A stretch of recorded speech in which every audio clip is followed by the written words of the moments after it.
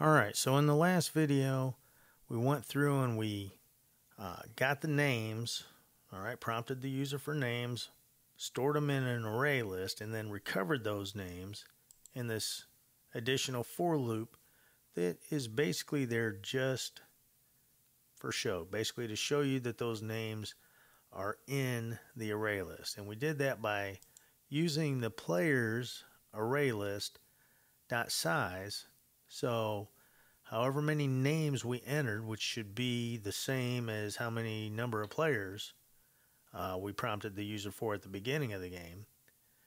And then we basically went in there and called the names and the scores from those array lists. And then they printed out right after we entered the last name. All right, so I kind of got you a little bit ahead, I mean, into the next part, because we do need this for loop. Because this is where we're going to call our players. And we're going to say, hey, it's your turn. All right. And then we'll have another for loop within here that will basically play the game. Or, you know, when they roll the dice, it gives them the option to continue rolling, hold, let's um, basically bust out of there. If they hit a one, it tells them their turn's over and stuff. So we do need this. And like I say, I left it as I so that you could see that basically the scopes were different, that this I did not affect that I. However, in this one, we're going to have a nested for loop or a for loop within a for loop. And we're going to have to change the value of the inner for loop. And me, the way I code, I just, I'm going to change all these to J. All right, just like that. And as I'm always saying, anytime you make a change, run it and make sure that it still works. So I'm going to go in here and this time I'm going to use three players. And we'll call these players Brianna, Alana, and Jana. All right, and then it should print them out just like it did before. All right, so this is where I'm going to, like I say, loop through my players. Now, the first thing I want to do is I don't want to keep calling players.get and then J, and same thing with scores.get and J. I want it to be simpler, something that, you know, is just easy for me. So I'm going to change this to name and this to score so that when I call it later on down the road, I can either get the name or the score depending on what I need to access or change. So to do that, I'm going to create a couple variables within this for loop. Now the first one, of course, we're getting it from the players array, and the players array, if you remember from up here, is a string, and the array list is an integer. Now, you have to type in integer when you do this, but when you get an integer, of course, it's just int. And the only place we're going to use this is within this for loop, and that's why I'm not declaring it up here.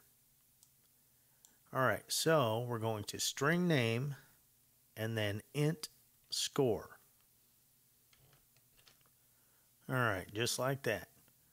Now I'm going to set name equal to this players.get and then in parentheses J by hitting Control X, highlighting it and hit Control X, and then it's going to equal Control V to paste players.get J, and then I can just change that to name.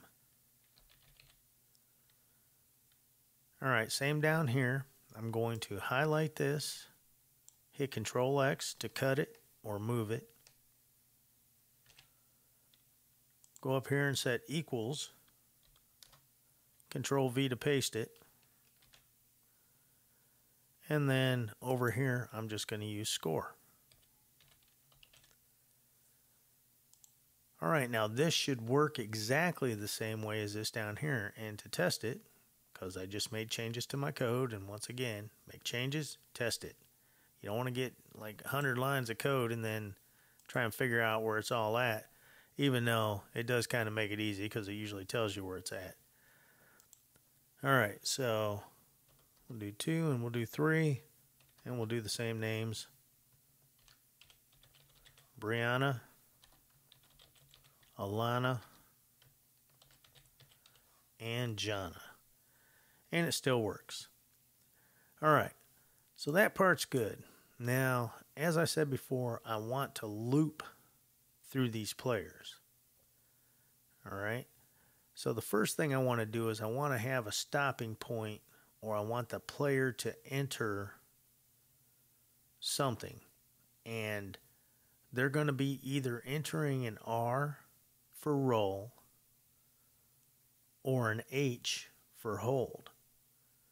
So the first thing I need to do is get a character or a single just letter or whatever. All right. And the way we do that is you're going to do char, which is the type, and then set it to whatever you want. I just set mine to C. All right. And then down here, we're going to actually let the user know. So we'll do whoever's turn it is or whoever we're on, which we're getting, if you remember, from J. So on the first pass, it'll be zero. So in this case, it would have been Brianna. So we're getting her name, and then we're going to do comma, it's your turn. All right. And then I just added a little bit more in there and just letting them know your current score is. Okay, now when they start off, when you first start playing the game, it's going to be zero, of course. But then once you start getting points, which we'll do later in the game, you're going to take those points, and of course, we're getting them from their scores, which means we're going to have to put them in there. All right. But whatever they start their turn with, we're going to let them know this is how many points you currently have. All right. And then we're going to prompt them to see if they want to roll. And we're not really going to give them a choice on the first pass because you have to roll at least once. All right. So we need to tell them roll the dice on the first turn. All right, so what I did here, and you can do this, you can, uh, if you want like line feeds. So I don't want this line here, roll the dice to be directly or like one line feed. I want there to be a line feed between it to give me a little bit of space. Then you can just do this, make sure it's a print line. It won't work with a print. Okay, but that gives you a carriage return if you do an empty uh, print line. All right, so then on the next line, I'm telling them roll the dice. So where do we go from there? We have to prompt them for input. Now you remember I got this char C up here. All right, so we're going to set that equal to, and a char is a single character. All right. So we only want and we can only put one character in there. If you try to put a string in there, you're going to get a bunch of red squiggly underlines. So let me go ahead and put a string in there. So we'll do a string and we'll say destiny.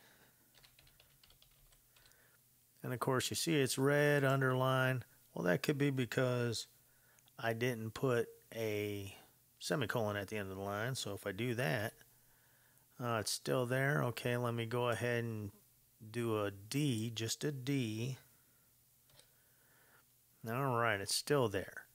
And the reason it's still there is because with a char or a character, the way you basically do that, you don't do double quotes, you do single quotes. So if I put a single quote at the end of each of these, it should go away. And it does. All right, and that's going to come in handy because we're going to be comparing what they give us coming up. All right, but right now we're going to set it equal to SC for our scanner dot next and then parentheses.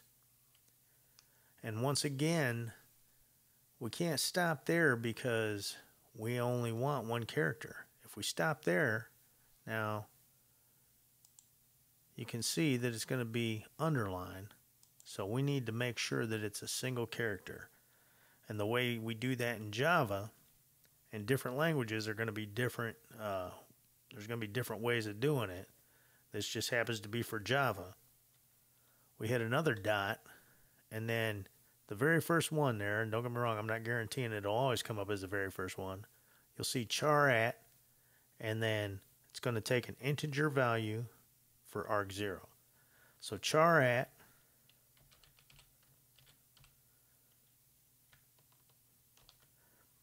All right, and then we're going to put in 0. And you can see that my little underline went away.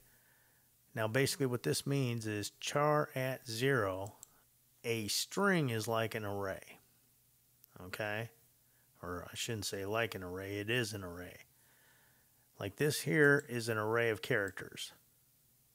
All right, and the way this is set up is that is position 0. Then the R is position 1. The next one is position 2. The O is 3. The first L is 4. The next L is 5. The space is 6. You can't forget spaces when you're doing this.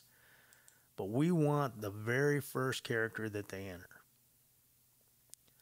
All right, and we're hoping it's an R. So what do we need to do? We need to check that. So we're going to check to see if it's an R. And we're going to check that with a condition statement.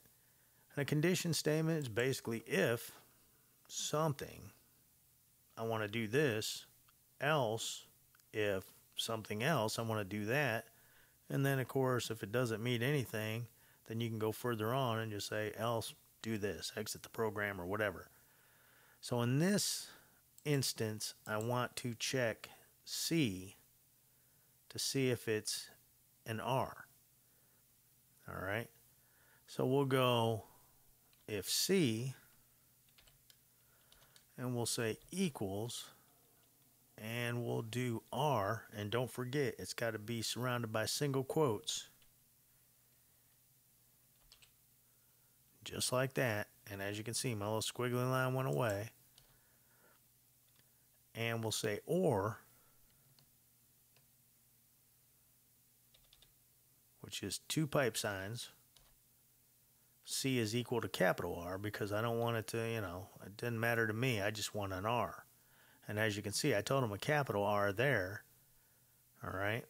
But I don't care if it's a lowercase r. I just don't want any other characters. All right, so if C is equal to R, I want to say, we'll just make it simple to start. We'll just say C is equal to R.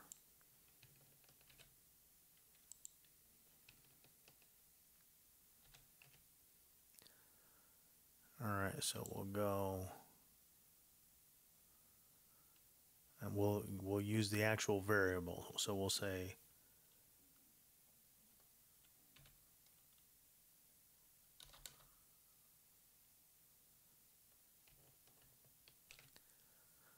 All right, so basically I'm using the variable and we're going to say C is equal to C, whatever, you know, whatever we actually type. All right, but if it's not, I want to do something else. So I'm going to put an else in here.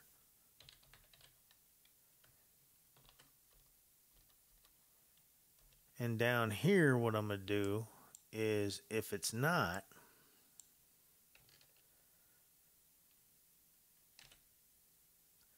So I'm doing Control C to copy and Control V to paste. So I'm going to put C is not equal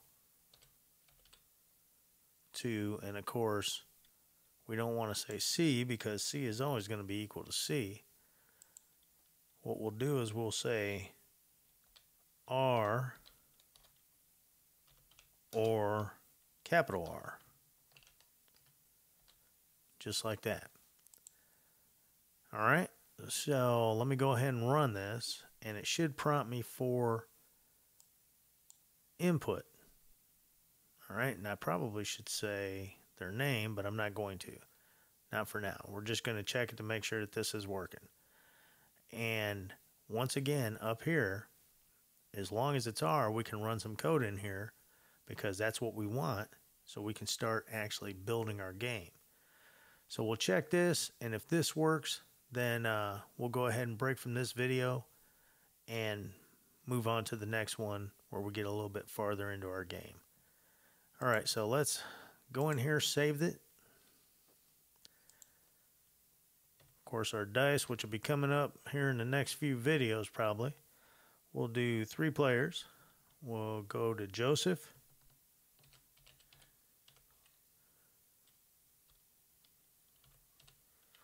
All right, Cherish and Selena.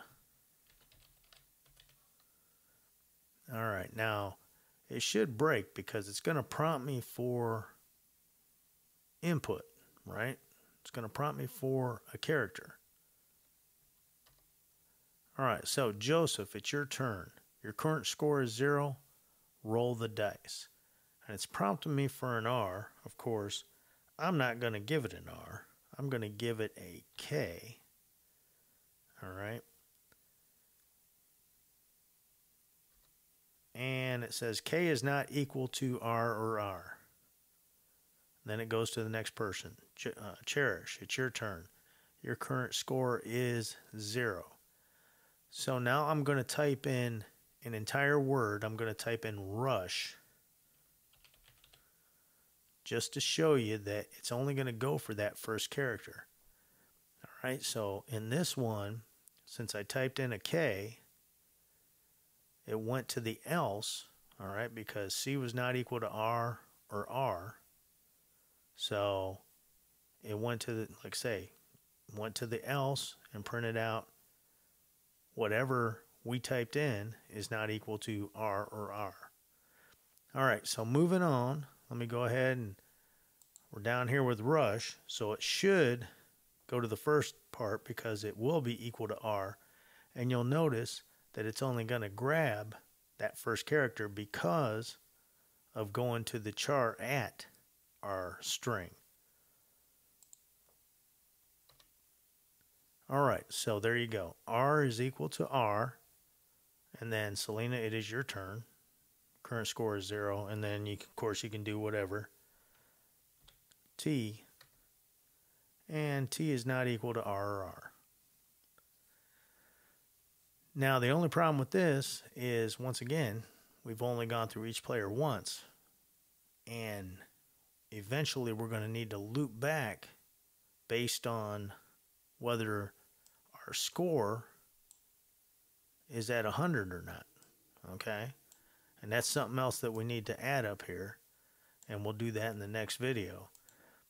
But hopefully you see where we're going with this. And right now we're just testing the, uh, the characters that they're entering. And if they give us an R, we can go ahead and start typing some code in here so that we can go ahead and set up our dice, generate a random number for them, roll them, and get those numbers. All right. So stick around. Like I say, we're we're getting there. I don't know exactly how many videos this is going to take, but uh, I'm pretty sure I can do this in under 100 lines of code. All right? And look at us. We're already up in the 50s. Oh, I'm sorry. Technically 61. All right? So thanks for watching, and we'll see you in the next video.